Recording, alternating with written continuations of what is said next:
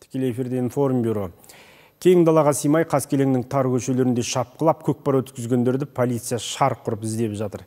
Серке тартысқандар қаланың күре жолындағы көлік қозғалысына кедергі келтірген. Ешқандай рұқсатсыз. Орталықта ұлттық ойын ойнағандардың әрекеті бейнебақылау камераларына түсіп қалыпты.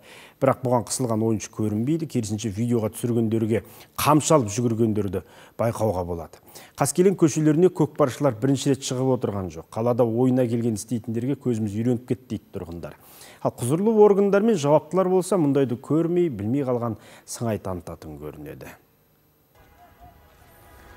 Мінекей әлеуметтік желіде тараған жазбаға жақсылап зер салсақ көшеде көкпарда дарақы ойыншылар дабыл қаққан көліктерді қиратқан.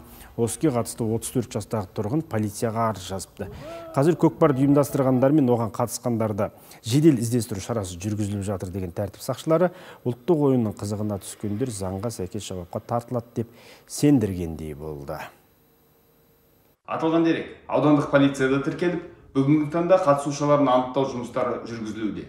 Көкпарға қатысқан азаматтар анықталған кезде әкімшілік жазаға тартылатын болады.